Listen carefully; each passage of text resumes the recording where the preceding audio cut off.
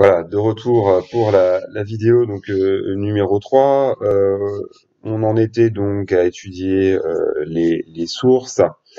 Voyons maintenant les sources euh, archéologiques. Donc on aurait pu déjà mettre dans cette partie-là les sources numismatiques, donc les, les monnaies qu'on a déjà euh, évoquées euh, précédemment. Alors, les témoignages archéologiques euh, datant du règne d'Alexandre demeure euh, très rare. Bah, déjà pour une raison simple, c'est que son, règne a été quand même assez bref, et donc c'est très difficile pour les archéologues de dater euh, des couches euh, de cette époque. Euh, à voir aussi que la plupart des Alexandries qu'il a fondées ont disparu, mis à part la plus importante, ça tombe bien, Alexandrie d'Égypte, euh, donc il a commencé en fait les, les travaux, mais qu'il a ça n'a pas été fini son vivant, et euh, à, à, savoir notamment que le fameux phare euh, d'Alexandrie a été euh, terminé sous Ptolémée II. il y a un autre site aussi important. On est là en Afghanistan actuel. Pas évident d'aller fouiller maintenant, mais c'est le site actuel d'Aïranoum, très connu des archéologues français parce que voilà, on a euh, découvert euh, des vestiges de, de cités de, de l'époque d'Alexandre et puis ensuite des, des colonies euh, plus, plus tardives. Alors, la source archéologique la plus connue, on va dire la, plus visitée, c'est la tombe de Philippe II, qui a été découverte fin des années 70, donc une découverte majeure hein, dans l'histoire antique. Hein. On a découvert le, le, tombeau de Philippe II, donc le père d'Alexandre, que en 1977. Euh, on a également donc voilà mise au jour des, mosaïques représentant Alexandre.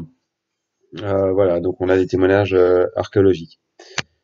Alors on a aussi bien sûr euh, des œuvres d'art contemporaines. Je vais pas trop trop développer l'aspect artistique dans cette euh, conférence, mais on a gardé en fait des copies plutôt. On a très très très peu, voire quasiment pas d'origine de l'époque. Donc c'est des copies romaines, plus ou moins fidèles.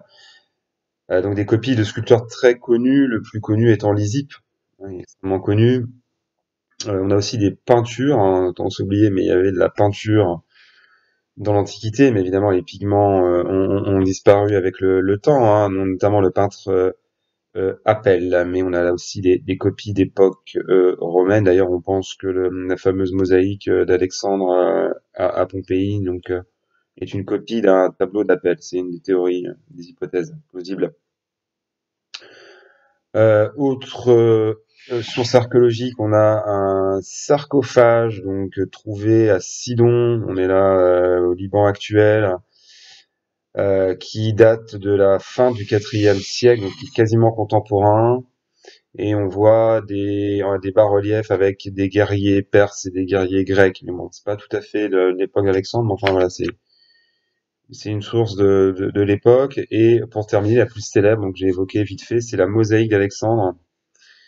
Magnifique mosaïque qu'on trouve euh, dans euh, une villa de, de Pompéi, hein, donc qui a été conservée grâce euh, à la cendre volcanique, qui montre, dernière nouvelle, alors il y a plusieurs théories, mais enfin voilà, Alexandre a une, bataille, alors si c'est Isos, Gogamel, ou si c'est une synthèse des batailles, ben bon, peu importe. En tout cas, Alexandre qui, qui met ensuite euh, Darius III.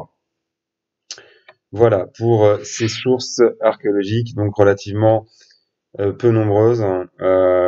sachant que je n'évoquerai pas ici la, théorie par rapport au tombeau d'Alexandre, ça mériterait de long développement, mais on n'a toujours pas retrouvé le tombeau d'Alexandre qu'on pense être à Alexandrie. Donc il y a plusieurs hypothèses plus ou moins fantaisistes. Je, je n'y reviendrai pas là-dessus, mais enfin ce serait tellement formidable un jour de découvrir la, le tombeau, voir la momie d'Alexandre, parce que bah, Alexandre a été momifié selon les, rites euh, égyptiens, donc euh, ce serait évidemment une découverte majeure, hein, que vaudrait un, tout en Camon. Hein. Bon, alors les découvertes plus récentes, il y a quand même eu des découvertes archéologiques, euh, notamment la découverte de tablettes babyloniennes, donc qui ont été écrites à Babylone, donc à l'époque d'Alexandre, mais qui ont été écrites euh, en euh, cunéiforme, donc la, la, la langue, euh, enfin, en tout l'alphabet euh, des euh, babyloniens hein, à l'époque. Alors il y en a qui sont vraiment très très intéressants, très intéressants parce qu'elles datent vraiment très très précisément au jour près des événements, notamment la bataille de Gogamel. Donc on a la date précise, 1er octobre 331. Hein, c'est peut faire confiance aux fameux euh, astronomes, et, mathématiciens euh, babyloniens. On a découvert aussi des euh, papyrus aussi en araméen, donc à Jéricho, là en Israël euh, actuel. Euh, on a aussi toujours en araméen euh, des découvertes en Bactriane, donc en Afghanistan actuel très récemment, on est en 92, à l'échelle de l'histoire, on a découvert aussi un trésor monétaire avec des monnaies d'or euh, d'Alexandre, dont je parlais tout à l'heure sur les monnaies.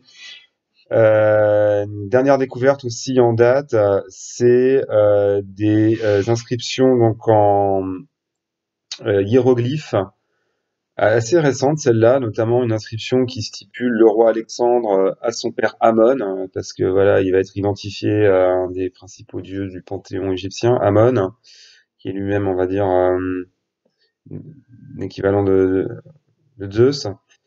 Donc ça, c'est dans un l'oasis de Siwa où Alexandre a, fait un pèlerinage. Donc on est là dans le désert égyptien.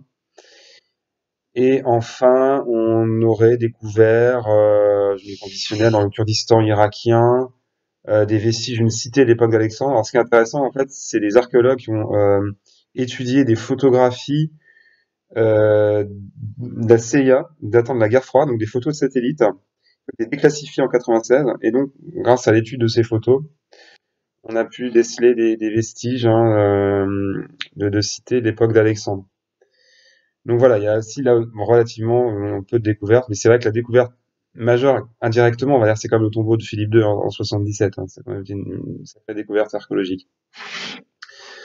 Donc dans le deuxième point, on est toujours dans, l'étude des sources. On va étudier là plutôt, on va dire, euh, la perception d'Alexandre chez les historiens de l'époque moderne et euh, contemporaine. Hein, euh, on va dire la, recherche scientifique concernant Alexandre, ce qu'on l'historiographie. Alors je vais résumer, peut-être un petit peu là aussi universitaire. Je vais essayer de faire faire faire court et clair.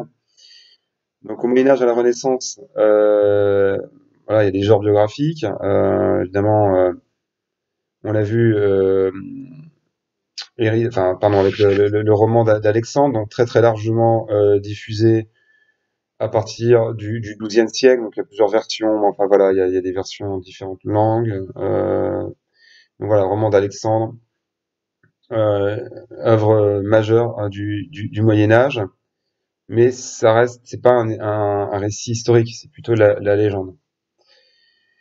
À voir aussi qu'il y a des biographies, mais qui s'inspirent de plus tard, qui, sont des, biographies là aussi moralisantes. On va considérer comme la première biographie scientifique, moderne, historique d'Alexandre, rédigée par un historien anglais, Samuel Clarke, on est en 1665. Mais là, il est vu comme l'incarnation de la démesure euh, et du, despotisme hein, dans une Angleterre marquée par la première révolution.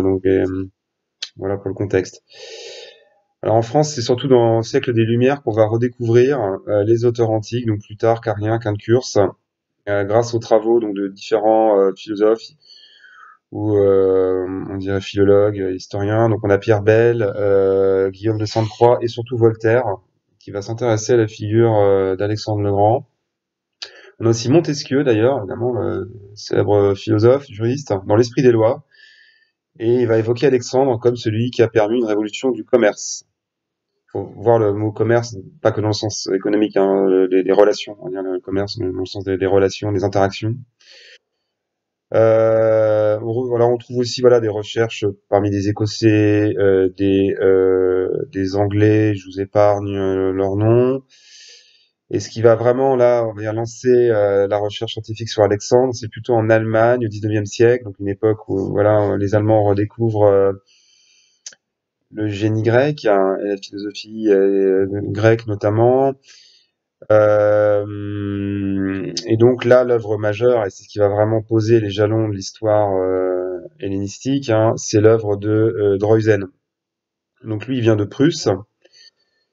Euh, c'est lui d'ailleurs qui va, je vous dis d'emblée, mais créer euh, le terme hellénistique. donc euh, ça vient du mot hellénique, hein, on pourrait dire suprêmement hellénique. Donc c'est la période après Alexandre le Grand, hein, jusqu'à la conquête romaine. Donc c'est dure trois siècles. En gros, les royaumes dont on a parlé, hein, les royaumes successeurs d'Alexandre, c'est l'époque hellénistique. donc Droysen, c'est un historien, élève du philosophe Hegel, et il va faire d'Alexandre le héros de l'histoire universelle. Donc là, bon, c'est une biographie, on va dire, historique, scientifique. Hein. Euh, alors très élogieuse. Hein. Il voit voilà Alexandre comme celui qui va fusionner la, vitalité ardente de, la Grèce, qui va mettre en en mouvement les masses inertes de l'Asie. Je mets des guillemets. Donc euh, voilà, il, affirme même, alors il va assez loin, mais qu'Alexandre a, a, préparé l'émergence d'une religion mondiale. Donc en clair, le monothéisme, on, pourrait dire. Hein, hein donc voilà. Euh, et qui serait le fondateur d'une ère nouvelle en fait, hein, qui euh, fait suite ensuite avec l'Empire romain, donc aussi universel, et qui prendra fin euh, avec la chute de, l'Empire euh, byzantin, du moins pour, pour l'Europe. Donc ça compte Hein. Voilà, donc il fait un parallèle de entre la Macédoine antique et, la Prusse, un petit royaume belliqueux, qui va unifier voilà, comme la, Macédoine a unifié la Grèce, la Prusse va unifier euh, l'Allemagne. Donc pour faire suite à Droysen, donc qui est vraiment fondateur, et euh, c'est open source sur internet, vous pourrez aller lire. Euh, on a un dénommé William Tarr, donc c'est un Anglais. Là aussi, il présente Alexandre comme un héros civilisateur. Il le voit comme un des pionniers d'une grande révolution mondiale, comme le montrent les mariages entre Macédoniens et Perses. Ensuite, on a des études plus euh, psychologiques avec Peter Green. Euh, alors, il insiste sur son génie militaire, mais il note l'absence de véritable projet au départ de l'expédition, donc c'est un peu du, coup par coup. Euh, et enfin, dernière école, c'est celle de l'historien Robin Len Fox, dont les œuvres en fait ont inspiré le film d'Oliver Stone, Alexandre. Euh, donc là aussi présente une vision euh, très élogieuse, on dirait apologétique hein, euh, du règne euh, d'Alexandre, tout en présupposant une forme de décadence de l'empire perse. Donc tout ça, on a vu, c'est plutôt une historiographie élogieuse. Donc Alexandre, héros, civilisateur. Ensuite, il y a l'école critique, évidemment, au XXe siècle, euh, déjà qui reprennent un petit peu des critiques émises par les philosophes stoïciens, à savoir qu'Alexandre euh, serait un, prédateur, qui aurait d'abord des, qualités militaires et moins de qualités politiques. Il serait irrationnel, impulsif. On peut noter aussi les purges qu'il a menées. Alors, le purge entre guillemets, parce que vous voyez, c'est des termes, des, quasiment des néologismes. Hein, on parle des purges de Staline. Euh, bon, euh, faut pas comparer non plus. Alors, le premier vraiment à critiquer, voilà, le sens historique. Hein. Euh, Alexandre, euh, c'est un dénommé Belloc, qui considère Alexandre comme un tyran. Ensuite, on a des historiens proches du nazisme euh, qui vont aussi faire des critiques envers Alexandre. Je reviendrai sur la conception qu'ont les nazis d'Alexandre le Grand. Bon, je vous épargne la suite, mais enfin voilà, on a aussi euh, des, des, nuances qui vont être apportées par les historiens euh, par rapport à, la campagne d'Inde et à son retour catastrophique. Euh, voilà, et puis il condamne une vision trop romantique. Alors voilà, il y a une autre école aussi plus synthétique qui, en gros, euh, se méfie d'une nouvelle forme d'orthodoxie qui crée à l'œuvre d'Alexandre. On va pas passer d'un extrême à l'autre. Alors, les recherches beaucoup plus récentes, donc du récent, c'est les années on va dire 70 à nos jours. Euh, pour le coup, il y a pas mal de Français. Euh, pour revenir, euh, alors il s'intéresse moins à sa personnalité, mais à l'expression de la royauté, les conséquences politiques de ses conquêtes, la naissance du mythe aussi. Donc il y a des, euh, une thèse, euh, thèse de doctorat de Paul Gougoski, qui est fondatrice, essai sur les origines du mythe d'Alexandre. Paul Gougoski qu'on a cité, euh, traducteur de de Diodore. On a aussi les œuvres, euh, l'œuvre historique d'un historien grec qui s'appelle Milsiad Adzopoulos, qui est un spécialiste des institutions politiques, donc qui a écrit sur les, institutions politiques en Macédoine.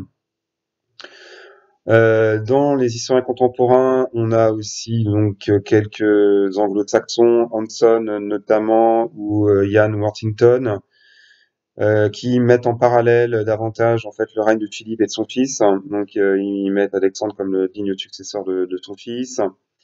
Et enfin, pour revenir aux Français, on a les travaux de Pierre Briand et Paul Bernard, c'est des archéologues aussi, euh, voilà, qui vont euh, remettre au goût du jour l'héritage achéménide. Parce qu'on longtemps on a considéré, donc les Perses, hein, on a considéré ces peuples comme sans histoire, mais en fait, bah, bien sûr que non. Et donc ils sont davantage pris en compte dans l'étude de l'Empire d'Alexandre. Donc voilà pour cette partie peut-être la plus fastidieuse, peut-être la, moins intéressante, on dira peut-être pour certains, mais voilà sur les sources. Mais je tenais à le faire quand même pour poser un petit peu quelques jalons. Ensuite, on va revenir plutôt, ben voilà, à un déroulé euh, chronologique. Euh, je vais pas vous faire tous les, les, événements, bien sûr, mais euh, voilà, en, en, souhaitant que ça vous ait donné un goût pour la suite.